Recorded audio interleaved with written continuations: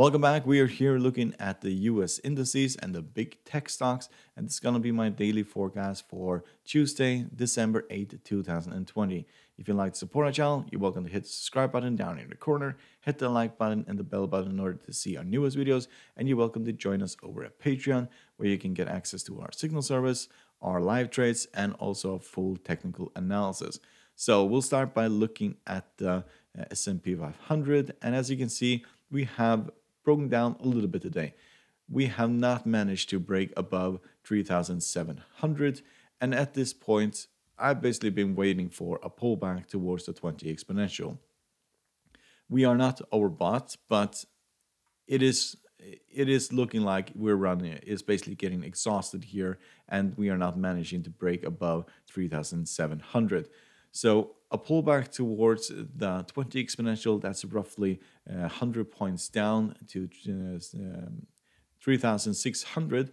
That would make a lot of sense, and there will be a lot of buyers coming in if that is the case. That will break down there. That is also previous highs over here, and uh, that would be an amazing buy-in. So that's basically what I'm waiting for. But however, if we break above 3,700, that means we're going to 3,800, and that will basically also mean that we should basically buy at that stage.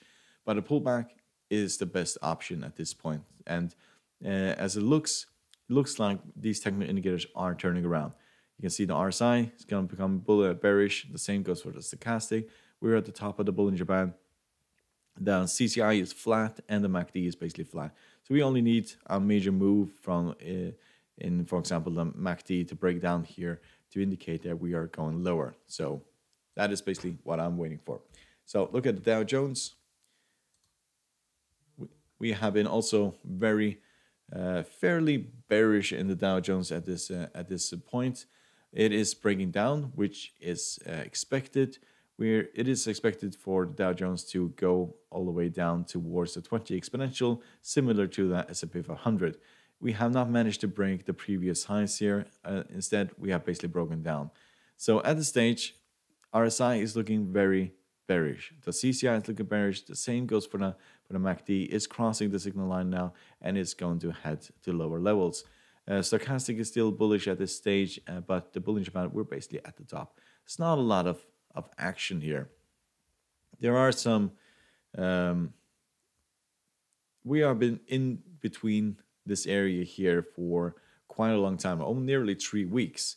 Um, so a pullback towards the 20, that is a buying opportunity. Of course, a break above this area here of uh, 30,250, uh, that opens the door to 31,000 and that is a definitely buy. There's a lot of room to the upside, so if that occurs, then of course that is a buying opportunity. So looking at the Nasdaq, So first of all, NASDAQ has broken the previous highs here and we are trading, we were all the way up to uh, 12,630 uh, before we gave some of those gains back. Um, it is fairly overstretched at this point to be added. I expected uh, when the US dollar uh, started appreciating today that this was going to turn around towards the 20 exponential or 12,256, which are the previous highs here, which also is what I'm waiting for.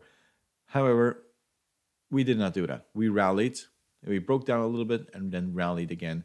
And at this point, we were up nearly half a percent for the day. Um, if we look at the RSI, we are significantly overbought. So buying at this uh, level is uh, extremely risky. There's not a lot of room to the upside. We could basically tumble towards this level here at any point, which is also expected. The CCI is becoming mm, more uh, negative.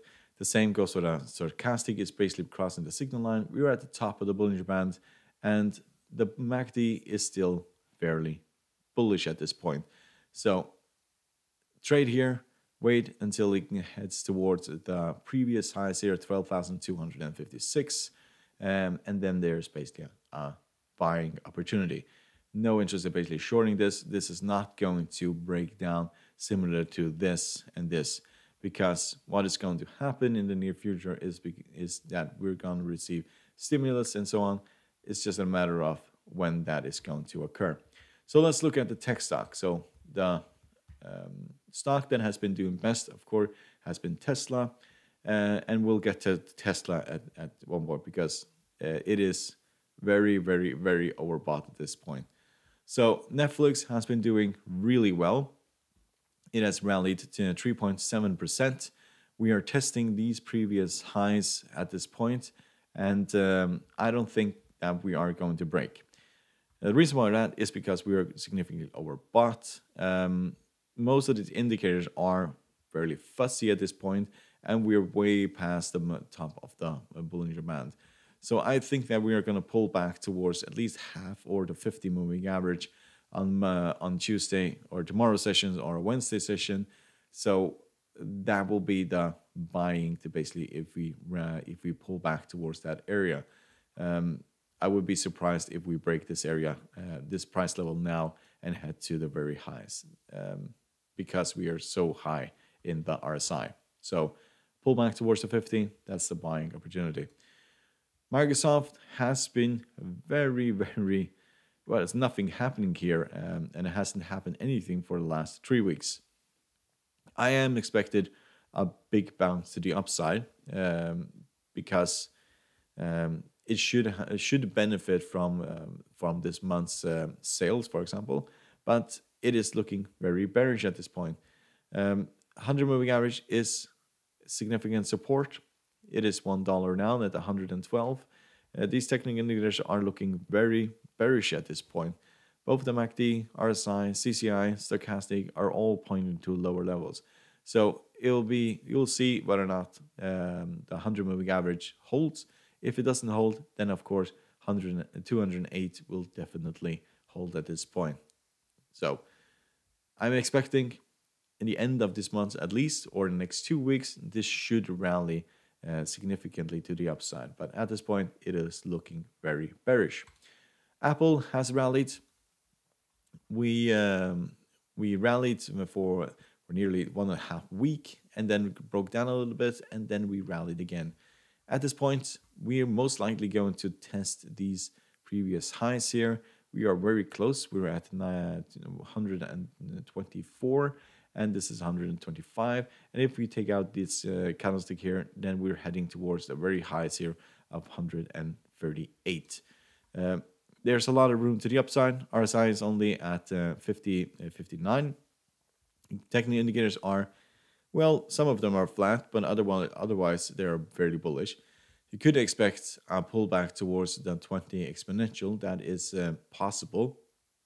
However, we tried to do that for two consecutive uh, sessions and then rallied. So, so this is a very popular stock, and people will take advantage of it when they basically see that it is um, declining and is running into exhaustion in this client. So, at this point, if we if we break down towards the 20 again, then definitely this is a buying opportunity. So if we look at Amazon, we are down um, 0.31%.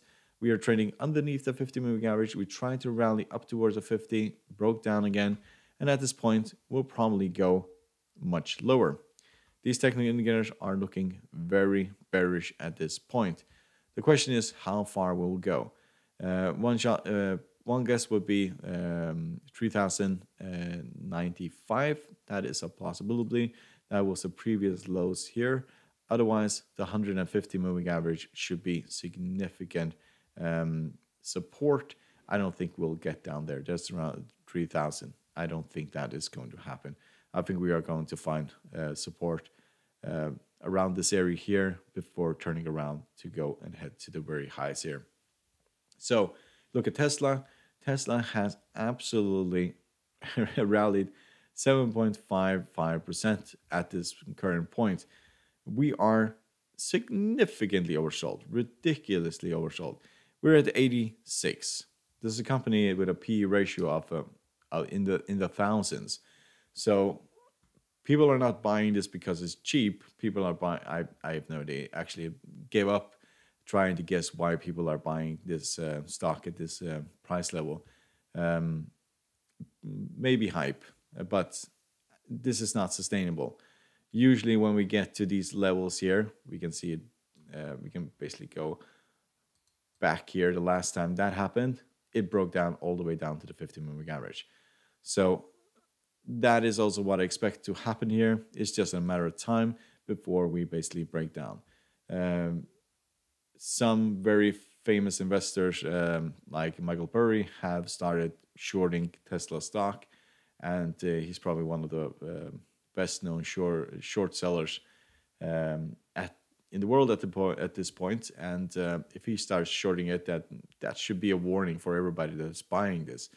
Um, because it's just so overvalued. It's nothing wrong with the product. It's just the stock is significantly overvalued. As you can see, it's also oversold. However, technical indicators are still um, very bullish for this.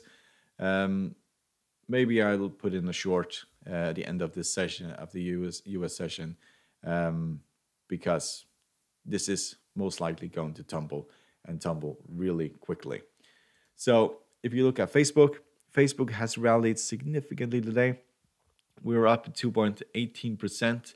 We were up over 3% when in in early in the session, but we found resistance here at uh, 288. And uh, we have been in this area several times. It has been really difficult to get to these very, very highs. Um, at this point, it doesn't look very bullish. Stochastic has crossed the signal line. Uh, CCI is looking bearish, and uh, we basically got to the top of the Bollinger Band and it got rejected here. So my guess for, for Facebook is that we are going to back towards the uh, 50 moving average uh, within the next few days.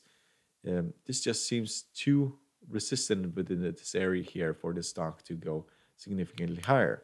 But if we go higher, then we are targeting 297. And if 297 breaks, then we go into 304. And after that, much, much higher. We have a lot of room to the upside. We're only at 56 in the, in the RSI. So we could rally all the way to the top here. But that is not a good sign.